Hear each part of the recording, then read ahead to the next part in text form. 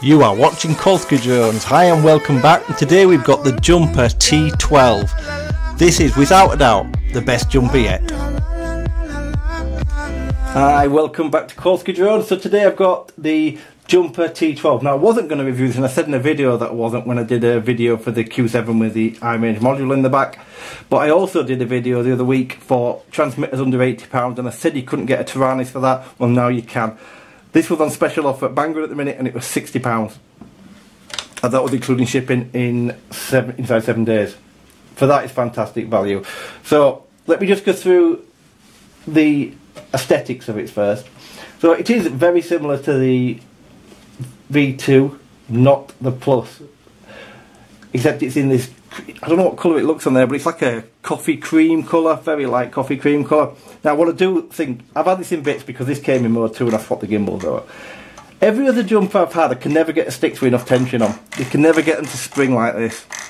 These are adjustable. Inside they actually have adjustment now. Before it was always at the end of the adjustment you couldn't adjust them. These are only adjusted halfway when I've got it and I've got plenty of stuff. I could take them stronger. I could make them stronger than this. So for me, that's much better. The other thing I must say is, I've got the V2 Plus with the Hall effect gimbals. These feel a million times better than them ones. Whether I've got, is it because the tension's right on the sticks, but they look, they're different inside. These gimbals are different than they are in the V2 and certainly in the T8SG version 1. These are much better gimbals. These feel much, much better in my hands. The switches also feel better on this. Whether they are upgraded, I don't know, it might be my imagination. But the whole thing just feels nice in my hand. So, let's just turn it on. You long press it. As you can see I've got the sound file on mine. So all I did was put the sound file, put an SD card, I just used an old 4 gig SD card and put the sound files on and I'm also going to put some pictures on and stuff and finish modding it up. But I'll just put the sound files on just to show you do it. The speaker's horrible, it sounds terrible as you probably heard. But apart from that, it, it's a great transmitter. This this really is to me the best jumper.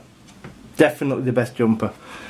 Now it doesn't run on deviation. Now that is going to be an issue to some people because not all the models that you can fly on deviation are supported on this.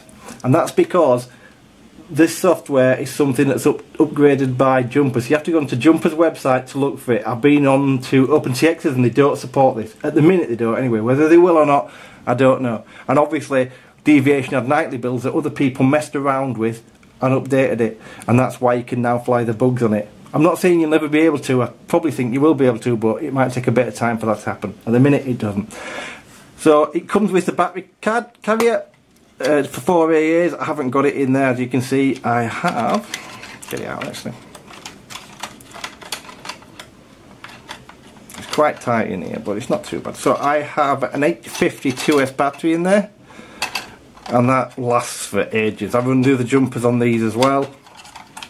It's just much easier. I don't like messing around with with um, batteries if I can avoid it. And in there you can see that is the SD card. SD card holder there, and that's where you put your that's how you do firmware updates and whatever else you need to do on this. You can connect it straight up there to the PC, and you've got a trainer port. I do wish they'd start moving on to a micro USB or USB-C, but this is really old-fashioned to use. From a setting up point of view, it's exactly the same as setting up any single Taranis transmitter. With the only difference in here, it's obviously multi. So if you long press that button, it takes you into the radio setup, then you can skip through your pages. And then if you short press that button, it sends you into your model menu, and then, sorry, wrong button, you can skip through your pages. So the only difference on this is, if you look, I've got it set up for my Aurora 90, and where it'd normally have, let's go down to here. So on a Taranis you'd have internal module would be on, obviously make sure that's set to off, and then you've got multi. If you change your multi you can change that multi to, as you can see, Hubsan, FlySky, Custom, DSM, Devo, Fimer, they're all on here. Well, as I say, not as many as are supported by the deviation software at present. So if we just come back out of there, just make sure this is still balanced, still set up. Should I knock this off and change it? Let's put it back on to this one. Put it back onto FrSky.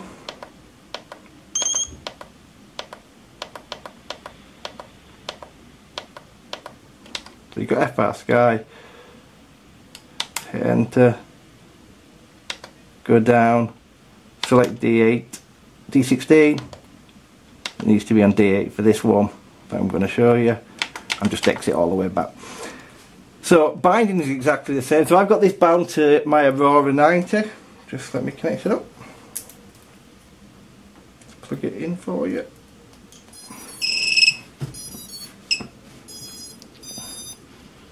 So this is bound to my Aurora 90. I have my arm switch on there.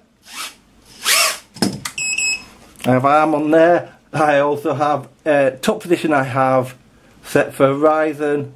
I've then got angle mode and then I've got air.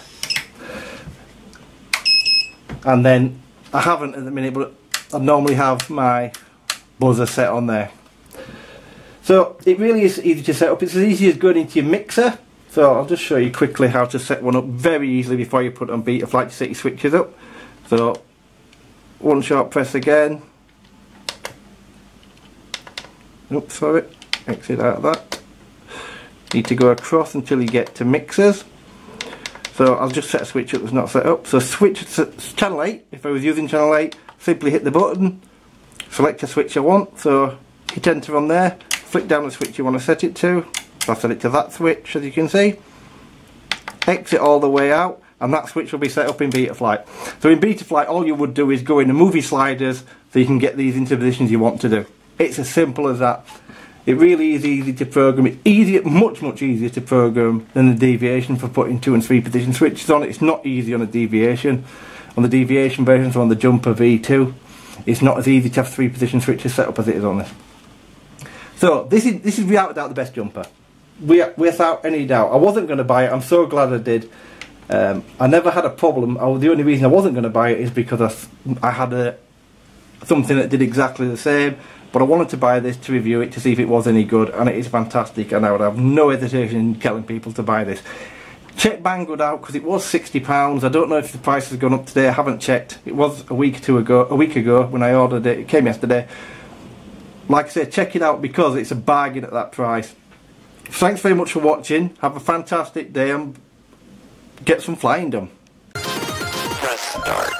Thanks very much for watching this video. Hope you enjoyed it. If you do, please hit the like button and please do consider subscribing if you haven't already and hit the notification bell. Thanks for watching.